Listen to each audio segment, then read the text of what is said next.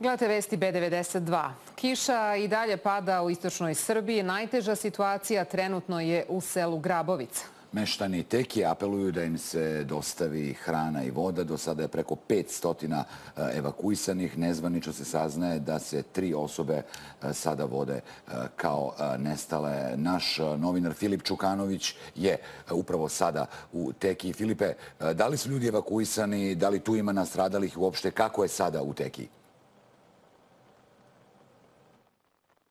Gorane, da budemo precizni, mi se nalazimo nekoliko kilometara niz Dunav, nismo baš u teki budući da tamo nema struje, mobilni operateri nemaju svoj signal, pa zato ne bismo mogli ni da se uključimo odatle, ali bili smo danas tamo i to ćete svakako vidjeti u nastavku programa. 850 stanovnika ima tekija, preko 500 ljudi je evakuisano, oni se evakuišu brodovima, brodovi ih prevoze Dunavom do Kladova i tu se smeštaju ili u hotel Đerdap ili u bolnice, zavisi kako ko. Imamo informaciju da je jedna osoba stradala, da se tri osobe vode kao nestale. Inače, mesto Tekija nalazi se između Donjeg Milanovca i Kladova. To je put uz Dunav. Tamo je situacija zaista neverovatna, mogu reći, budući da je bujica za svega nekoliko minuta odnela sve pred sobom. Meštani koji su tu ostali, koji se nisu evakuisali, objasnili su mi u stvari da su dve reke koje se izlivaju u Dunav,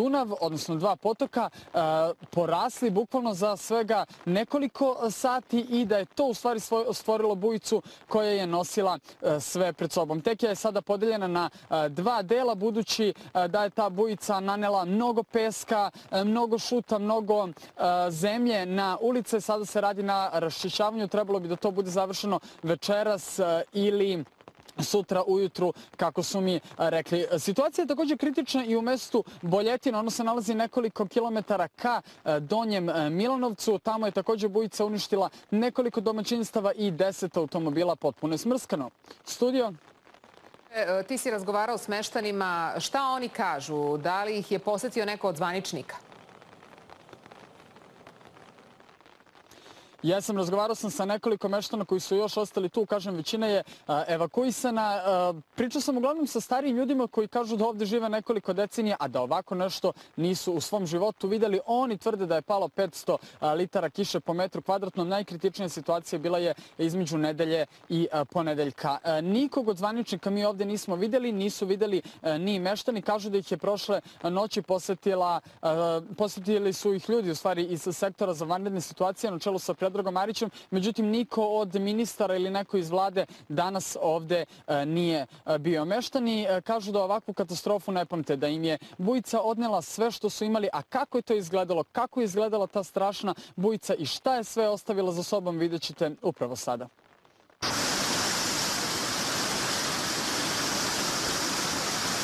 Pošto su bujice odnele mostove, rušile kuće, čupale drveće, a donele ogromne količine mulja i blata, Meštani sela Tekija sada su u klopci, zarobljeni sa svih strana.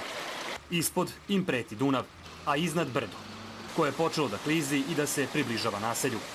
To klizište sada je najveća pretnja, iako kiša ne prestaje da pada, a snažne bujice i dalje teku kroz Tekiju.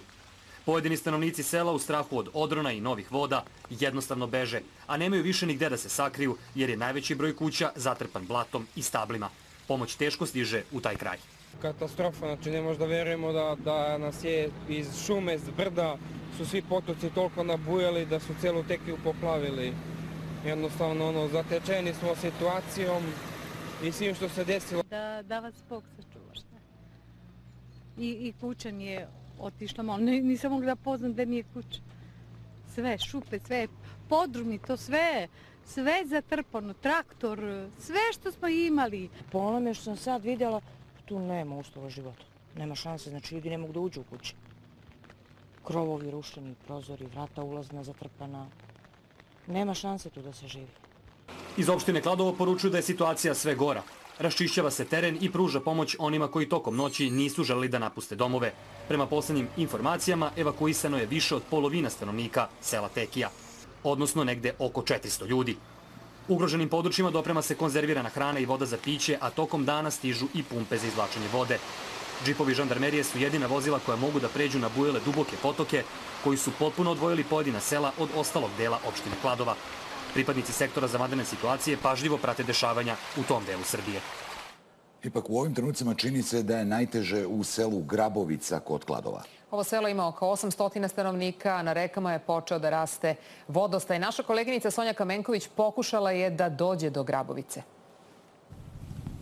Kao što vidite, čini se da je situacija danas ipak teža nego juče. Mi se nalazimo na državnom putu Negotin-Kladovo, nekih 500 metara ispred sela Grabovica, u koju smo juče mogli da dođemo. Međutim, danas, kao što vidite, je to potpuno nemoguće jer je voda prekrila čitav put, a na nekim mestima dostiže dubinu i od jednog i po metra. Meštanima koji su u Grabovici, hrana i osnovne životne namirnice se dopremaju isključivo terenskim vozilima. Ono što smo saznali da u ovom trenutku evakuacije nema, ali nema ni struje ni vode u ovom selu. Ukoliko bi se kojim slučajem desilo da se ova voda za neko kraće vreme e, povuče, bilo bi opet nemoguće da se ovim putem stigne do Kladova, jer nekoliko kilometara posle Grabovice nedostaju dva mesta, odnosno vodena bujica je u toku jučerašnjeg dana srušila dva mosta. Ono što smo takođe saznali od predsednika opštine Kladovo je da se u toku današnjeg dana očekuju specijalističke ekipe inženjera Vojske Srbije koje treba da odu u izviđenje terena i nađu mogućnosti odluče e, kako će i kada biti postavljeni privremeni pontonski mostovi. A gost vesti je načelnik uprave za vatrogasno-spasilačke jedinice Goran Nikolić. Dobar dan.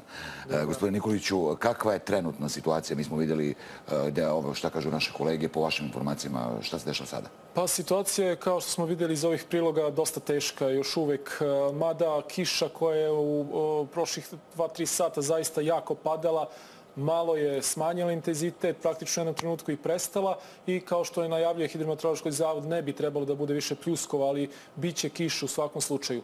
Ono što smo videli u ovom prilogu Grabovnice i najveći problem, jer taj nivo rasti, tu se stvorilo ogromno jezero to je ono, ta akumulacija koja postoji. Nasipi ne smije da se diraju dunavski. Naravno, probat ćemo pumpama.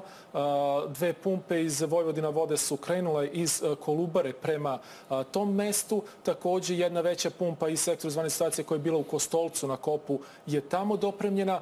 Onda ove manje koje imamo i koje posjedujemo postavljene su tamo. Probat ćemo da ispumpavamo tu vodu, praktično da smanjimo taj nivo. Taj nivo, nažalost, i dalje raste i to pričinjava veliki veliki problem meštanima. Videli smo kolika je voda i to je, dok ta voda ne, ne, nestane praktično iz te akumulacije, i e, bit će problem za te ljude koji se nalaze Da li su svi evakuisani koji su trebalo da budu e, evakuisani i zašto nisu možda na vreme upozoreni?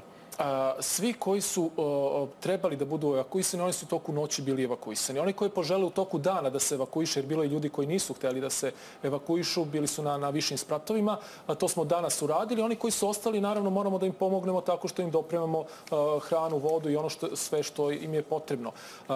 naravno, otežano je kretanje vozilima zbog nivoa vode, ali postoje čamci koji su tamo.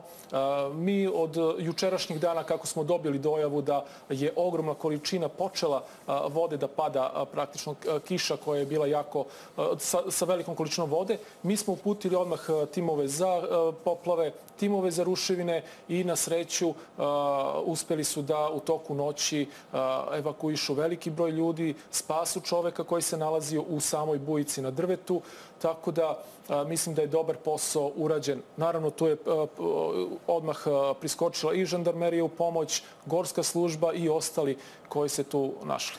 Stizali su informacije da je ugrožen, da je ugrožen Đerdap, pre svega Đerdap 2, kako da je tu prodala voda gde ne treba. Kako tu stoje stvari? Pa, mi smo odmah ponudili pomoć ljudima u Đerdapu 2, međutim, uveravali su nas da ne treba, oni to sami rešavaju, nije velika količina vode i da će u naredna, narednih sad, dva vremena da otklone taj nedostatak, praktično da izbace tu vodu koja se nalazi u tim njihovim postrojenjima. Tako da se nadamo da će normalizacija vrlo brzo biti u Đerdapu 2. Hvala vam što ste došli u Vesti B92. A čuli ste, nova poplava je privremeno uh, ugrozila rad hidroelektrane Đerdap, naročito dvojke, odnela je uh, put koji vodi do elektrane, ali radnici to u ovom trenutku saniraju i otprilike za nekih par sati tu će biti sve u redu.